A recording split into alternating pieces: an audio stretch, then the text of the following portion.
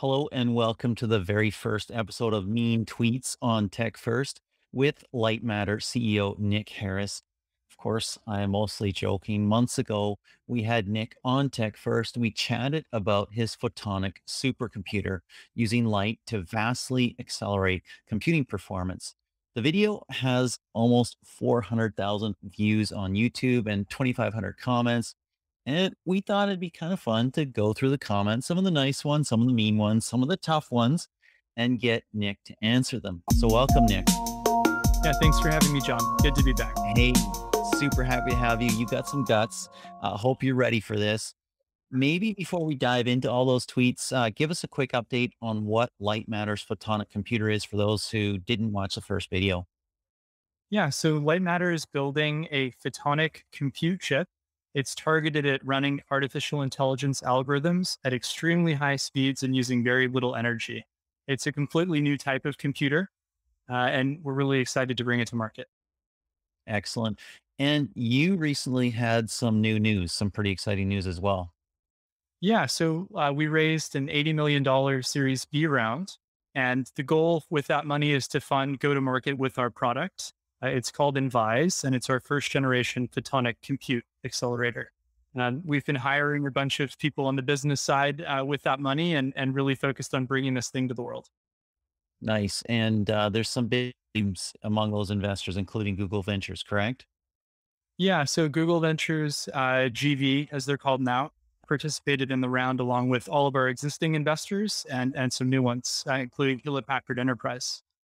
Excellent. So let me share the original video here and we will just go through some of those tweets and see what we see. Here's one that's actually interesting from No Art. I'd be really interested in to know how it actually works. I have some understanding of transistors and logic gates, but I can't understand how you'd actually do linear algebra with light. What's your answer, Nick? Yeah, so we can understand uh, some of the basic operations. Linear algebra, if you look at it uh, as a as a class of problems, you're doing multiplication and addition. That's that's really it. So if you can do multiplication and addition, you can do linear algebra. Um, how do you do it with light? What we do is we use a device called a modulator, or what one can do. There are many ways to build photonic computers. And what a modulator does is incoming light comes into the modulator and it goes out the other side. Um, you can actually apply a voltage or a current, an electrical signal to that modulator and attenuate the brightness of the light, for example, or you can apply a phase shift to the light, uh, proportional to the, the signal that you're applying to the modulator. Um, so, so really think about it like if you want to do multiplication, you apply a, an electrical signal to a modulator and it imparts that data on the optical stream. Uh, and so let's say you wanted to multiply two numbers. You could have two modulators in series as an example. So one followed by another connected directly to each other. You'd apply a value here that's B and a value here that's A. And the value at the end of this thing would be B times A. Uh, addition can be done in sort of a similar manner. Uh, one way that you could do it would be by taking a bunch of different uh, waveguides, for example, and then putting them all into a single waveguide. So shining a bunch of lights into a single into a single channel. Uh, this would give you addition. There are a lot of different ways to do addition, but there's multiply and there's add. Hopefully it makes sense. It's all about modulators. Very, very interesting. By the way, we learned a lot about ourselves in the first video. We, we learned that I say very interesting a lot. So we're going to just repeat that. If it is interesting, I'm going to say it. And apparently you say, what was your phrase? Yeah, so is that correct? Yeah, so. Okay. Yeah, so. Uh, well, let's go with random guy. Will it run Doom? Will it run Doom? You know, what we're focused on right now is not graphics, but we know that linear algebra uh, as a class of, of computation can be used for doing graphics processing. I see a future not too far away where Lightmatter could support things like ray tracing and, and rendering and, and things like this. So uh, hopefully soon. I love gaming, would love to be able to play in that space.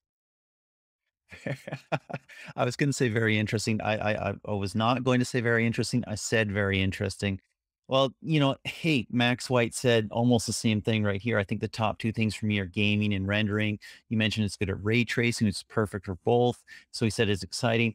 I think the reality here is though that you're you're probably not going to be able to find this in Best Buy, right? this is not probably where you're going with this chip right away. Yeah, we're focusing on selling this to enterprises, to, to big businesses. Um, I would love to see a future where consumers found use cases that were compelling from a business perspective, where maybe you'd be able to go to Best Buy and buy a Lightmatter card. But for right now, we're really targeting uh, very large companies that are deploying artificial intelligence. Uh, hopefully, there there are markets going forward where individuals might want to deploy this kind of hardware. Exactly. And there might be some individuals in those very large companies who just want to play Doom on them as well. So that may be coming this was very interesting from Weehee, and he brings up now we can literally say that RGB improves performance, which kicked off an entire debate, which I was unaware of. I mean, I know the GIF, GIF, right? But I was not aware that there is a big internet debate over CMYK, right? Which is um, RGB is red, blue, green, or CMYK is cyan, magenta, yellow, and black. K is the black. Uh, CMYK is much more from the print world, of course. RGB is from your from your monitors. Uh, settle the debate for us. Is it CMYK, CMYK or RGB? Well, if, if I had to choose between those, I would say RGB. Uh, but I think what they're talking about is if you look at gaming computers today, like if you go to Newegg or one of these websites that sells components for building gaming computers, almost all mm-hmm. of that lights. They'll have LEDs where you can customize what color the fans in the computer are, or the mouse or the keyboard. Um, so I think there, the joke, the way that I took it is, uh, you know, we can actually process on multiple colors at the same time with Lightmatter's technology, and it actually makes it faster. Uh, whereas it's sort of, uh, you know, like a boondoggle or a toy right now that you can have red, green, or blue, a mouse. now I understand. Excellent. Uh, there's another joke about Yasso. Um, we'll skip that one. Uh, Faustin says linear algebra is a Swiss, the, the math Swiss Army knife of computer science, which is cool. And then there's a bunch like these, and they got quite a few responses as well, right? We need to see proof that this hardware really does what it says it does in real world situations. We hear a lot of hype heard from a lot of startups. It's mostly talks. We have James Andrew and Jack Wright here. I'll wait till they actually have something. I mean, yeah. on the one hand, it's really good because you just raised $80 million from Google and others. That's they don't throw $80 million away. I mean, it's not like they get it right every time, but that's that's a, that's that's a proof point. Uh, what do you say in response to people like that? Yeah, so I can tell you a bit about the backstory of Lightmatter. So I did my doctorate and a postdoc at MIT. And while I was there, I built the first systems that did this kind of linear algebra with silicon photonics. And that's the platform that Lightmatter builds its technology on. Um, so that technology has been published in Nature, Nature Physics, Nature Photonics, eh, all the top journals in academia. It's peer reviewed. It works. That's how I got the first funding round from Matrix and Spark. Um, at Lightmatter, we've built a series of chips uh, the way that we get the money is by showing the investors these things working. Uh, I know it sounds crazy, but it's all, it's proven technology. you know, I mean, if I'm investing $80 million, I'm going to be pretty sure that I've had my hands on an actual piece of hardware, done some testing, had my geeks look at it and verify that it is correct. This episode of TechFirst is sponsored by my creator coin, Dollar Smart. Don't think of it like Bitcoin, think of it like a backstage pass at a concert. Get some at rally.io slash creator slash SMRT to pitch me on podcast guests, earn weekly rewards, get social amplification, and get or give feedback on strategy and plans. Here's an interesting comment from Valteri. I won't try the last name. Uh, commenting about this general purpose AI accelerator comment that you've had. He says, Is that what we're calling matrix multiplication now? Still a big deal, of course, but I find marketing speak funny. Do you find marketing speak funny or is it not marketing speak? Yeah. So I think in a sense it is marketing speak. What the technology that we built accelerates linear algebra. But uh, what we're building at Lightmatter as a system, as, as an entire chip and a solution, is an artificial intelligence accelerator that can be applied to any type of AI. Uh, so that's what I mean by general purpose AI acceleration. If we didn't, if we got rid of all the software stacks, our software stack is called Idiom, throw that away, uh, throw away the, the ASIC architecture and some of the other features in the chip, then yeah, it's just linear algebra. But there's a ton of work and a ton of intellectual property that wraps around that thing that makes it into an AI accelerator rather than just a linear algebra chip. Nice, nice, excellent. So uh, somebody liked me. Uh, my questions are top notch. That's great. Somebody liked you as well. We'll we'll skim over that really really quickly. Um, there's somebody else who is skeptical, but here's a good question, and this is about the low-k dielectric problem. Johnson Savard says, My understanding about photonic computers, they solve that problem. Light beams pass by each other side by side, don't cause capacitance problems slowing each other down. Is that the right way of thinking about it? Is there another way of thinking about it? How do you respond to that? Okay, so um, there are many contributors to energy consumption in computers today. Capacitance eh, as a category is, is one of the biggest. You can think of a capacitor as sort of a well that you have to dump electrons into. And then once it fills up, you're, you're like, you know, ready to go. So it's, it's this very annoying property. Uh, so that's the general idea. Now, where do you find capacitors? You find them in the wires that connect everything on chips and they slow the communications down a ton and dissipate a ton of power. You also find them in the transistor itself. Um, so CMOS, a complementary metal oxide semiconductor, is built on this idea of a MOS cap, uh, cap being a capacitor. Um, and dielectrics and their dielectric constant K uh, modulate the performance of that transistor. As transistors were shrunk, we had to find higher K dielectrics. Uh, they went to hafnium, and there's probably more exotic things at this point, but I'm not up to date on the materials. And yes, they're challenging, but I don't think as much. Uh, it's in the transistor world. It's not as much about the the dielectric constant K as it is about the atomic thinness of that dielectric at this point. Uh, so it's an important piece. I think Lightmatter is solving the interconnect part where the wires are really taking a ton of energy because of their capacitance. And we're also getting rid of the MOS cap, that capacitor, in doing the computation. And, and so that's a huge chunk of energy that you get rid of. Nice, nice.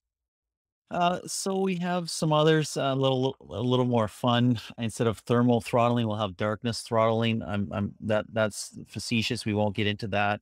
Um, exactly. You know? Excellent.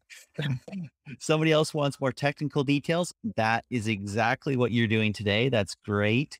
Uh, somebody here, hey, you're hiring. They're doing a PhD in photonics. That's wonderful. Somebody wants to run Crysis. Same answer as Doom. Excellent, excellent. Somebody else who is skeptical. Great. The 80 million might help with that, but you've got some work to do. This one is actually interesting, and that is in Cyrillic, the name, so I won't mention that, but I guess this is the next company that NVIDIA is going to buy. And what's interesting there is I recently just released a video uh, about HiPerGator AI, which is a new supercomputer at the University of Florida. It's ranked 22nd globally for supercomputers. It's AI focused and it's built with NVIDIA chips. Interesting thing is and I don't think the NVIDIA rep that was on the call wanted that to be said, but the provost of the University of Florida said that they spun it up to top speed just recently, has a ton of cooling and air conditioning, and it took 1.1 megawatts of power to run. And it is a room size system. This is an old school big computer that you buy a big building and put in there. Uh, so I don't know that NVIDIA is going to buy you, and I don't know if they want to, but comment a little bit on what supercomputers look like today and what they might look like as you reach maturity and ship. Yeah. So, you know, you've seen a lot of press recently, like Intel announced Ponte Vecchio, uh, and w- in their showing that new chip, they were showing the water cooling that's absolutely required for it because it's a 600 watt chip. So you've got water pipes running into the chips. You imagine a supercomputer built out of these kinds of things. There's water everywhere. At the same time, you're seeing Microsoft talking about immersion cooling, where they literally take baths of apparently edible. Feel free to look it up on YouTube. Uh, coolant. it, it's like an organic coolant uh, and they dip the cards in this. And then basically, as they heat up, they generate bubbles that cool cool the system. So you're seeing a lot of water being used and a lot of liquid phase cooling. That's all about heat, trying to get the heat out of the chips and making it so that they can still get reasonable compute density. Because with just air, you'd really have to space things out a bunch. So what is the data center like uh, with Lightmatter? You get rid of the water. You, you don't need it. A lot higher compute density, uh, more compute per energy footprint. It means that, you know, not that I'd want them to do this, but they could reproduce that system uh, at the University of Florida using a lot less of our chips than NVIDIA's and, and save power and money. Uh, but we prefer to upgrade it so that it's faster. the plumbers union will not be happy. Um, there's a lot of plumbing that goes on and water that goes on and other things like that. Okay, back to the comments here. Uh, awesome interview. Very good questions, great answers. So there's some kudos for you as well. That's great. Somebody wants to process local weather on it in real time. Maybe, who knows? I don't know about local and probably won't be in your room. Other person is waiting for a shadow based processor. I'm sure it could be invented. There's people who will do all kinds of crazy things. And 740 people liked that comment. Um, I wanted to ah, this was kudos to CEO for not selling as a thing that will change everything, as is often done with new technologies. He knows his strengths, isn't afraid to admit the current shortcomings. That's a great comment there. Uh, here's one that's interesting. Let's get into this one. This is from Shynamo. Imagine having a PC with quantum processors as your CPU and light processors as your GPU.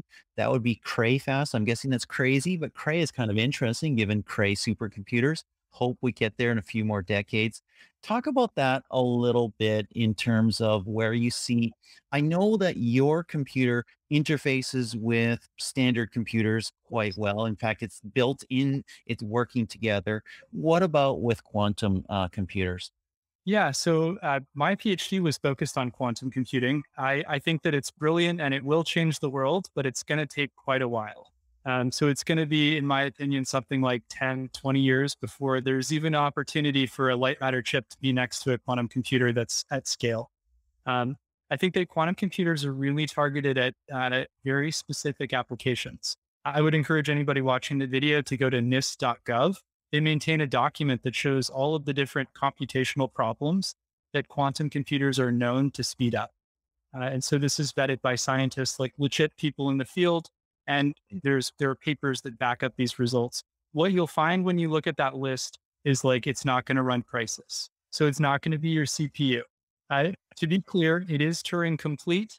And Turing complete means yes, the quantum computer could run Crysis, but it would be an awful waste of that incredible hardware. You'd be better served uh, doing database search with Grover's algorithm or, or any number of other things, maybe even cracking some RSA uh, with Shor's algorithm. Very interesting. There I go. I said it again. We need some more and so's from you just to keep the uh, peanut gallery happy here. This is a very interesting comment. This, of course, is the type of comment that your PR department warns you about and says, hey, don't comment on that, something like that. So, you know, use your own judgment here. From Swedish Death Lamb, I love your name. At CES a decade ago, NVIDIA had a small demo of their own research into optical computing. Obviously, no sales at that point but the engineer was talking about it. One of the most interesting things forever. So happy to see this tech come to market. Talk about competition in the space. Why has NVIDIA not come out with something here? Why have others not come out with something here?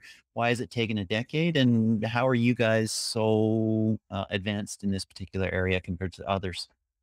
Yeah. So first of all, I would say that we need competition. We need a lot of people working on this, similar to what Elon did with open sourcing the patents for Tesla. Uh, his goal there was to try to drive adoption of electric vehicles because he knew there was a mismatch between the tech that Tesla had and what other people had. I sort of view our industry the same way. The problem we're trying to solve is really big. We're the first company that's in the space. Since we were founded, there have been about nine other companies working in this. And yes, there have been press releases from Intel on them working on some form of, of optical computing. I'm not aware of NVIDIA doing anything on it, but I do know some of the executive team there. And uh, let's just say lots of people are interested in, in this kind of field. And I widely encourage people to look into it. I think it's important. Excellent. Excellent. I skimmed over a bunch while you're answering that. I love this Star Trek nerd here going, ooh, photonic. Yeah, a lot of us are like that. Uh, Madras 61 understood it's for deep learning, cloud computing, data centers, and big companies. Uh, this is an interesting comment from Christian Reinich. Um, running a photon proce- pro- processor on different light waves is a real step towards 3D processing. Any comments about 3D processing? Uh, yeah. So I, what I what I'm taking that to mean is like our brain is a 3D computer chip, if you will. Like it's not just like layers of neurons; they're all connected in 3D in a volume. So when you use different colors in a Lightmatter processor, what it does is it creates a, another virtual processor on top of, of your current one for the same resource cost of the base layer. Another color gives you another layer. And so you can kind of build up a whole like queue of compute uh, that's composed of the different colors of light passing through the core. So yeah, maybe it's it's like 3D. Uh, I could go really geeky and talk about the interconnect that would need to go between those sheets, but I won't. Interesting. Uh, there I did it again. Yep. I can't help it. If I think it's interesting, I say it. Uh, there's uh, somebody who wants a yeah so counter in the top right. So maybe we'll do a version like that. Uh, another one with interesting as well. Maybe two counters. There we go. This is a great comment from Daniel Lee. My ex wife invited some friends over for dinner in 96. One of them was an MIT grad student. He said at the time they were a couple decades out. Well, you know, he seemed pretty close. That is a great comment. Here's one from the photovoltaic man. Great name. How many different colors could you run through a core? Every nanometer of wavelength, every 12, 20, 50, etc. I'm going to like that comment because it's a great one. What's your answer? Yeah. So the number of colors depends on your ability to separate them. Uh, so separation of colors usually happens with a wavelength division multiplexer. And if you look at data centers today, there, there are a some type of couple. prism, is it? It is. It literally is. Yeah. And you can do it with another device called a resonator. But there are some standards on this. There's coarse wavelength division multiplexing and dense wavelength division multiplexing. In coarse, you have a lot more spacing in nanometers between the colors. And in dense, you have a lot less spacing. Uh, so, how many colors could you do? I think we can leverage the same exact laser infrastructure that people are using for telecom. And they're currently looking at 16 and 32 colors. It's not ready yet, but I think that's like a pretty reasonable spot to go. And that's a heck of a lot of compute if you've got that many colors going on. Very, very impressive. I think we're almost running out of the great, great questions and comments here. I'm sure there's other ones that we won't see, but these are some of the later ones. They don't have as many comments. Uh, this is, I gotta love this. James Watson counted how many questions were asked 22. Eight questions were yes, no, 20 were answered with yeah, so. So, um, you know, th- this is the internet. Um, people have time on their hands to do things like that with questions and answers. I just want to say uh, thanks for uh, sitting in for the first interview. That was a lot of fun. And I did indeed think it was very interesting. Uh, but I also appreciate this time. Um, you've gone deeper, you've gone more technical uh, in response to those questions. So we'll see if uh, people like that and what are the questions they have as you release. Of course, I want to know. I want to hear. I want to see it. I believe your original timetable when we talked a couple months ago was something coming to market later this year. Uh, A, am I correct? And B, um, are you on track for that? Yeah. So we were targeting end of this year. Um, building chips is really hard. It's going to be next year, or hopefully middle of next year. So that that's where we're headed. Okay. And Okay. Is this is this feature creep or is this just it's really freaking hard? Uh, you know, it's it's running a massive engineering organization and and managing timelines and all these sorts of things. Uh, you know, it's it's pretty challenging stuff. If you look at timelines that are predicted by companies like Nvidia and Intel, it's constantly the case that they're not able to nail the, the time. So it's just hard stuff.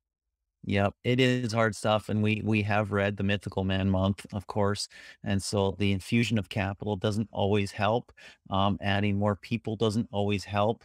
Uh, in any case, uh, Nicholas, thank you again for taking this time. Do appreciate it. Absolutely. Thanks, John.